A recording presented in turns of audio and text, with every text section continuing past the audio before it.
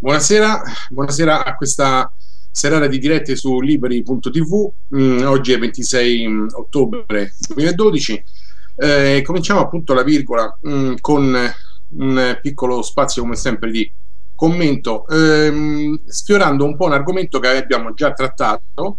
Ehm, e che siccome in evoluzione ho ritenuto appunto, essendoci stati in settimana alcune, alcune, alcuni aggiornamenti importanti, mh, mm, di riprendere perché insomma in qualche modo secondo me eh, ci sono degli, un andamento un po' allarmante. Ecco, stiamo parlando della riforma su, della legge sulla diffamazione. In questa settimana, dopo appunto le varie analisi che abbiamo avuto eh, con trasmissioni dedicate, eh, con l'apporto di ospiti che abbiamo avuto come Ivan e Otvos, eh, che abbiamo avuto la settimana scorsa come ospite, eh, peraltro poi questo argomento vede anche interessata Libri.tv, come poi vedremo, ehm, che pur nella sua minima dimensione mediatica ha l'ambizione di svolgere un servizio di informazione, di approfondimento in qualche modo, ci proviamo. In questi giorni eh, si sta consumando l'iter parlamentare di riforma eh, della legge appunto sulla diffamazione, un iter che sta appunto muovendo in Senato. Eh, qualcuno mh, mm, aveva detto che l'attenzione a questo tema mh, mm, sia sorta improvvisamente eh, in modo urgente mh, mm, in occasione e soprattutto sulla scia del caso Sallustri che ormai conoscete bene perché abbiamo parlato più volte. Eh, io comincio a non essere più tanto convinto di questa cosa. Il caso Sallustri aveva portato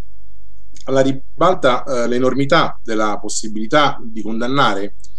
un giornalista, peraltro per omesso controllo, il caso di Sallusti, eh, alla detenzione per ciò che, che scriveva. Ehm, una possibilità prevista per legge, una legge assimilata dal codice Rocco nel nostro ordinamento che ha avuto appunto questa uh, applicazione così dura, uh, scarsi, insomma, sono stati scarsi gli episodi e appunto uno di questi è stato il caso Sallusti. In tutti questi anni, è una legge del 48, è stata assimilata al codice Rocco, quindi ancora precedente. Eh, è stato notevole il clamore, sicché mh, mm, se l'attenzione del legislatore eh, avesse preso le mosse da questa condanna, sarebbe eh, lineare, perlomeno ragionevole, penso, verificare in modo eh, pressoché trasversale e univoco mh, mm, che si procedesse verso una razionalizzazione, una mitigazione della punibilità penalistica. Uh, appunto uh, essendo sorto appunto il clamore sul fatto che uh, la eh, detenzione combinata appunto eh, a Sallusti è un, una cosa insomma un po' eccessiva, una pena un po' eccessiva. Però nei giorni scorsi è emerso altro. Eh, c'è stato un, un progetto appunto, un disegno di legge appunto che è stato presentato, eh, un andamento dei dibattiti eh, nelle relative sedute parlamentari che mi fatto, mi fa pensare più a una guerra tra bande, tra bande organizzate in modo trasversale, che hanno messo mh, mm, in atto un, un, un, un andamento mh, mm, un po' delirante. I lavori peraltro sono stati sospesi eh, dal presidente di turno eh, Chiti, se non sbaglio, eh, ieri e riprenderanno lunedì. Ma eh, qualcuno addirittura è arrivato a parlare di una sospensione necessaria per evitare che si organizzasse eh, l'astio nei confronti eh, dei giornalisti. Eh, parole di sconforto vengono anche dai due relatori di maggioranza, Berselli e Della Monica. Insomma, eh, rapidamente eh, dal sito, grazie al sito del messaggero, vediamo un pochino eh, l'andamento appunto ondivago e, e un po' delirante eh, di, questa, di questa discussione, di questo dibattito parlamentare. Mm, c'era un, eh, un, progetto che si era um, un disegno di legge, quindi un accordo in qualche modo blindato in teoria che appunto eh, avrebbe dovuto eliminare il carcere per i giornalisti. E ne dimezzava le pene pecuniarie. Eh, pareva che mancasse soltanto un, eh, una ratifica in, in, nell'aula eh, per appunto eh, arrivare a questa, a questa primo passo appunto per, per avere questa riforma. Eh, però poi appunto accadono una serie di emendamenti, eh, si amplia l'obbligo di rettifica dalle testate giornalistiche eh, alle testate web che hanno anche un cartaceo, poi qualcuno ha proposto anche eh, una, ehm, praticamente mh, l'obbligo di rettifica e tutto ciò che comporta poi ehm,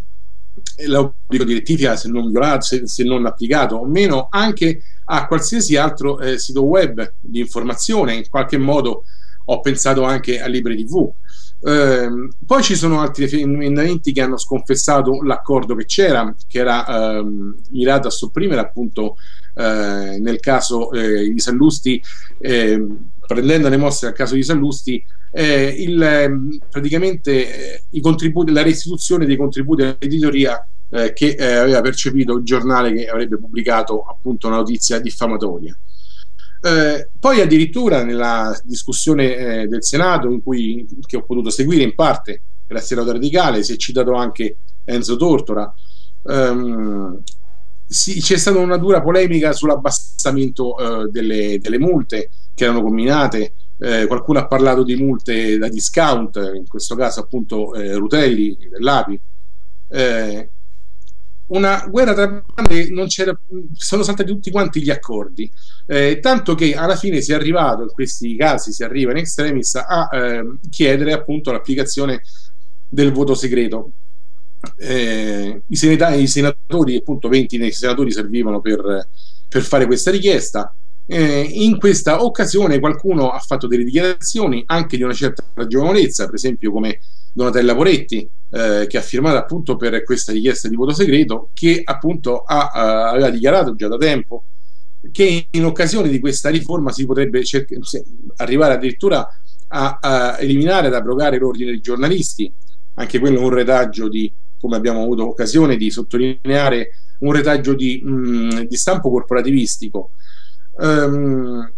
i leghisti, secondo alcuni leghisti, questo, questo, questa riforma non vedrà mai luce eh, un giurista eh, abbastanza insomma, eh, noto, ehm, che era Rodotà, si, eh, è preoccupato e ha parlato di pressapochismo, di approssimazione, così anche eh, Grosso, un altro giurista. Um, quindi mh, praticamente non ci sta un accordo uh, tra le forze politiche relativamente a un disegno di legge che pareva, un progetto, un disegno di legge che pareva appunto fosse suggellato da un accordo eh, trasversalmente pare che stia sorgendo una sorta di eh,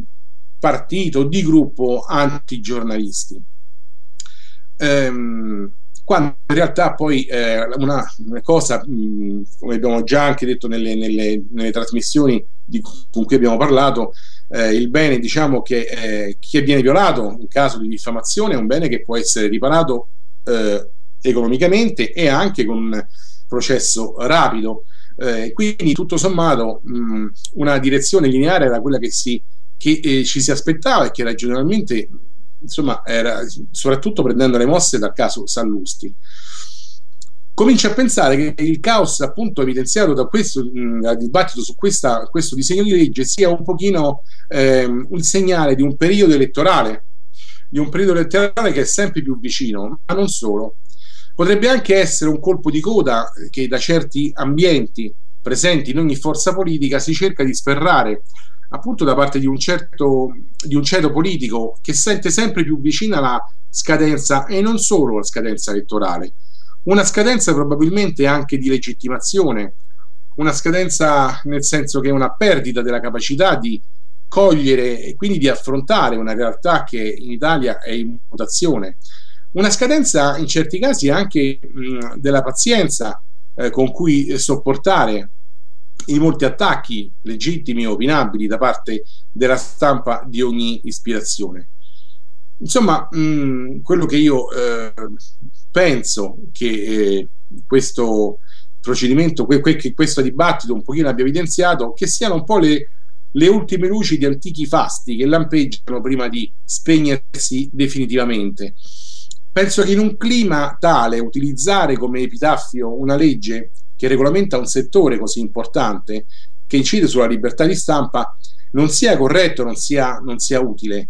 Eh, appunto in questo caos poi ovviamente passano anche in, in secondo piano delle, delle, delle schegge, se così possiamo parlare, chiamarle schegge di ragionevolezza, come appunto le dichiarazioni di Rodotati, Donatella Poretti,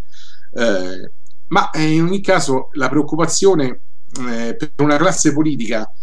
che non riesce a stabilire neanche come andare a votare nel prossimo appuntamento elettorale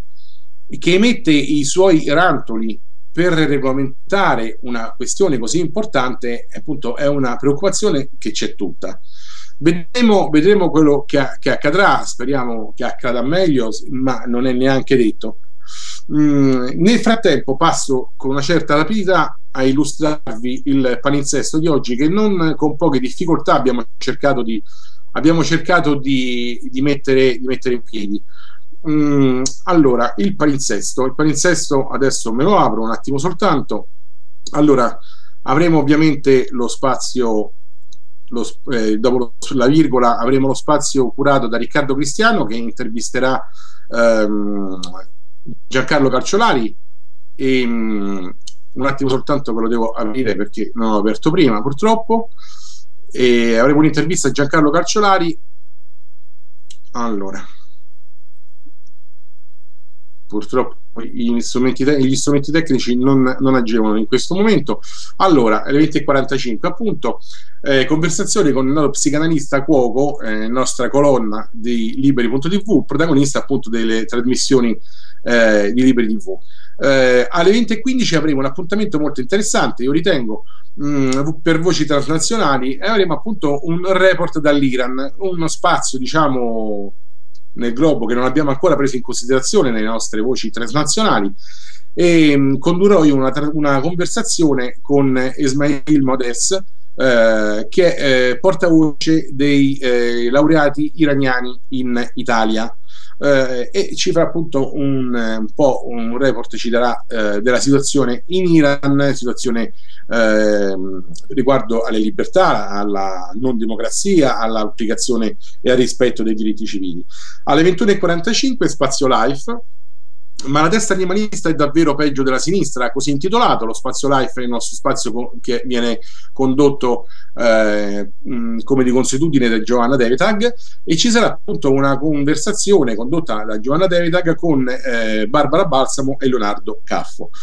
Mm, prevediamo verso le 22.15 di chiudere eh, le trasmissioni eh, sempre se non abbiamo eh, problemi di sorta. Detto questo, io eh, ricordo come ogni volta che eh, Liberi.tv è un'associazione che si eh, autosostiene e sarebbe molto utile che vi iscrivesse per darci e darvi la possibilità di esprimervi. ringrazio per questa serata la mh, regia che viene curata da Donato Volpicella e a cui restituisco la linea per eh, poi appunto eh, offrirvi lo spazio a tavola con Giancarlo Carcellari. Grazie e a più tardi.